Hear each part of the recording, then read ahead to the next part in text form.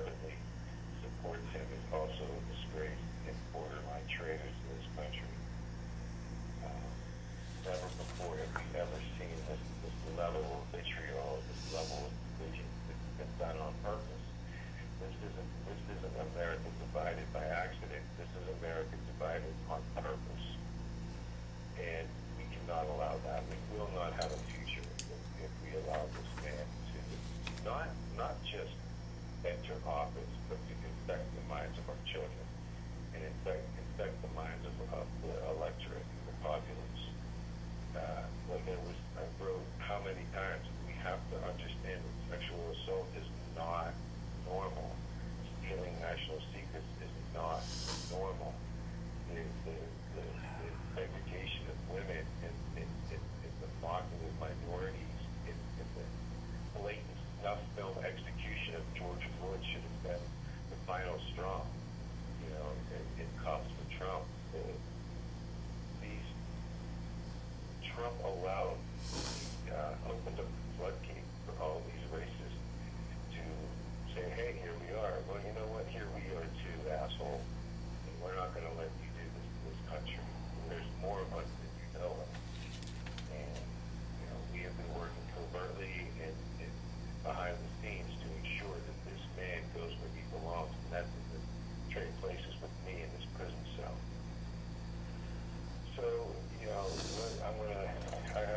my emotions and my cognitive uh, functions in order, prioritize in order to to um, be there for myself, to be there for my mother, and to be and to serve my country as I've been doing.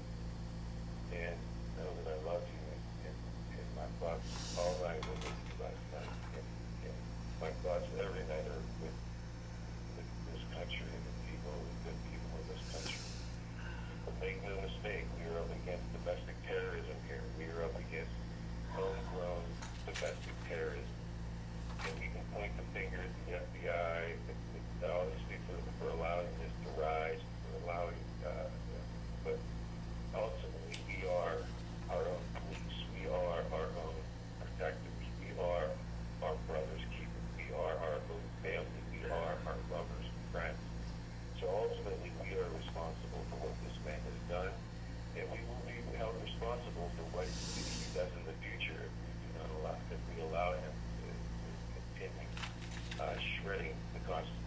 shredding our civil rights, shredding democracy.